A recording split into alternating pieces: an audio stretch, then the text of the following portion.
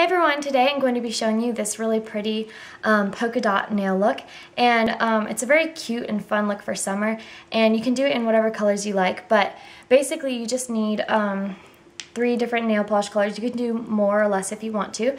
And a base color to do. I like to do a light color so that um, it doesn't take away from all the bright colors that you do as dots. And the only other thing you need is a dotting tool. And this is actually one that I made that I'll show you how to make um, within the tutorial. But this is just a really simple, easy nail look for summer, and I will get started, and I hope you like it.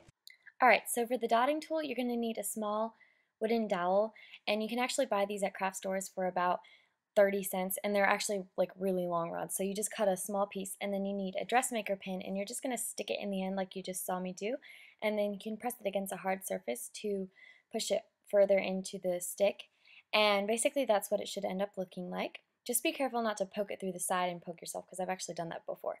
But then you're going to put on a clear base coat and then you're going to use your base color. This one is 2% Milk by Wet n Wild and I'm actually so pale that this kind of works as a nude nail polish on me. But you're going to do two coats of this and if your nail line is showing that's fine because you're just going to cover it up with a bunch of polka dots. And then blow on your nails to dry them a little bit, but to speed up the drying process, you can actually dip your nails in cold water, and that will significantly speed up your dry time.